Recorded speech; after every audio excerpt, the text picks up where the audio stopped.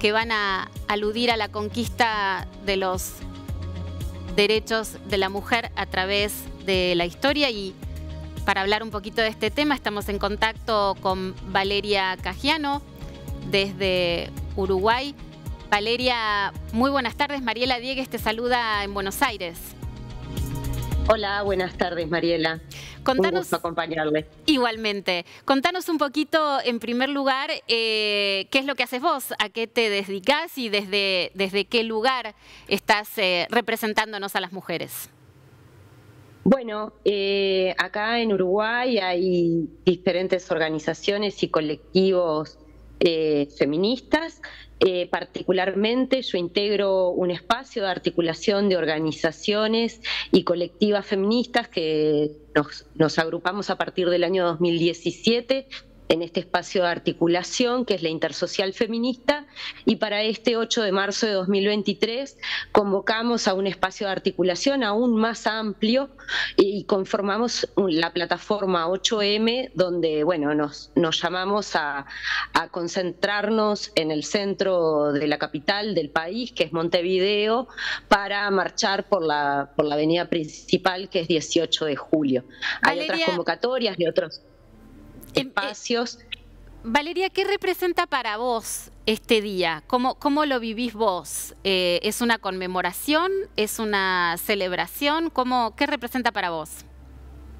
Bueno, hoy es un día de, de conmemoración donde la idea es poder reivindicar, salir a las calles, establecer eh, la posibilidad que tenemos de encontrarnos, pero también de plantear todas las reivindicaciones que hacen a que las mujeres, tanto en el país como en el continente, y en todo el mundo hace que vivamos en condiciones de ser ciudadanas de segunda clase. Entonces, hoy es un día de conmemoración porque indudablemente estamos aquí y en estas circunstancias porque antes nos precedieron un montón de mujeres que frente a las diferentes desigualdades que atravesaron en su tiempo histórico permitieron que otras pudiéramos salir a la calle y encontrarnos hoy. Pero bueno, en un mundo desigual aún vivimos y también tenemos que salir a reivindicar las desigualdades que hoy aún todavía nos atraviesan. ¿Cómo ves eh, la situación de los derechos de la mujer eh, en general en América Latina y específicamente en Uruguay? ¿Cuáles son todavía eh, los puntos sobre los que vos observás que las mujeres no tienen los mismos derechos o las mismas oportunidades que los hombres? Bueno, por un lado, en cuanto al acceso a los recursos económicos, indudablemente las mujeres en todo el continente estamos atravesadas por una situación de fuerte desigualdad eh, en cuanto a lo que hace a las brechas salariales y a las brechas en las condiciones de participación en el mercado de trabajo. Indudablemente las mujeres aportamos una fuerte carga de trabajo no remunerado, aún en este tiempo, donde nos hacemos cargo de la reproducción social de la vida. Eh, en el caso de las mujeres que viven en el medio rural, ¿no? En, lo que hace a la conservación de los recursos naturales, en lo que hace a la militancia frente a grandes intereses internacionales que buscan concentrar y explotar.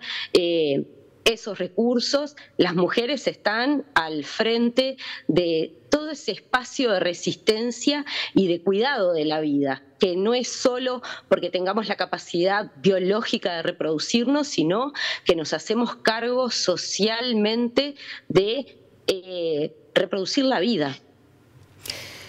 ¿Cuál destacarías vos que ha sido hasta acá la principal conquista de las mujeres respecto del mundo de los hombres? Bueno, creo que, a ver, eh, en materia legislativa, en diversos países eh, se vienen consolidando algunos procesos de, restitución de derechos, de protección de, algún, de, bueno, de garantizar, ¿no? Por ejemplo, pensemos en la libertad sexual, pensemos en las, en las leyes de interrupción voluntaria del embarazo, este, que de alguna forma instalan o, nos garantizan la autonomía sobre nuestros cuerpos.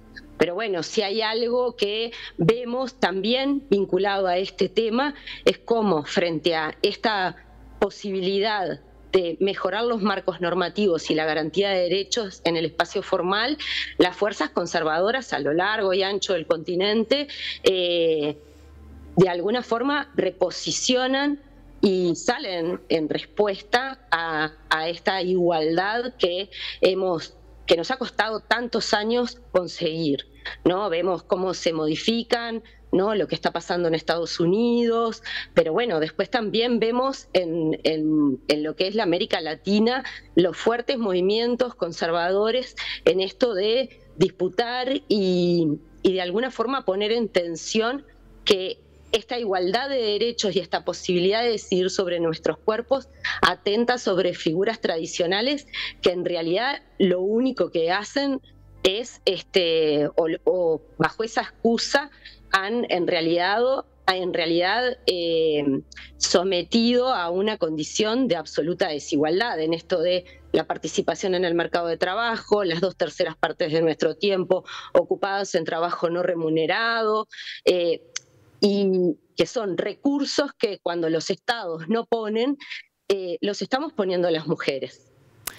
¿Cuáles son los principales obstáculos que tienen las mujeres para posicionarse al lado de los hombres? Apunto a las cosas este, quizás chiquitas, ¿no? A lo, cotidiano. ¿Qué es lo que vos observás?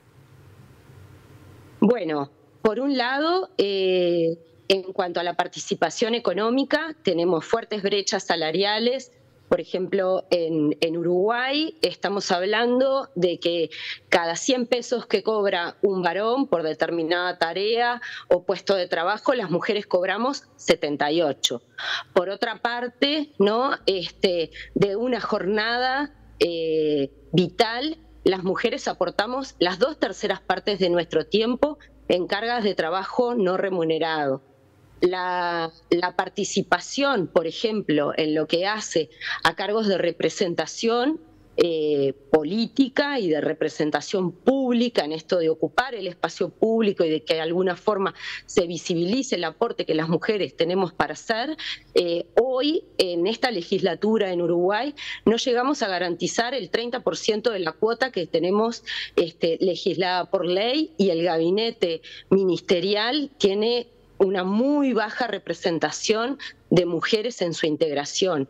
O sea, hay dificultades en cuanto a la participación política, hay dificultades en cuanto al acceso a recursos económicos que garanticen la autonomía para nuestros propios procesos de toma de decisión y por otra parte, ¿no? este, en aquellos contextos este, de mayor vulneración, son las mujeres las que están sosteniendo la vida en los barrios.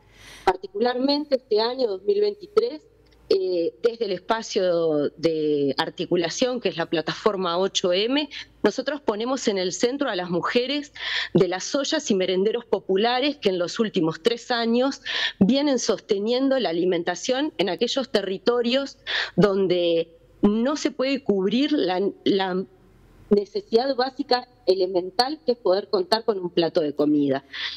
Valeria Cajiano, muchísimas gracias eh, por este contacto en el Día de la Mujer. Muchísimas gracias, un beso grande para vos. Gracias a ustedes y nos vemos en las calles.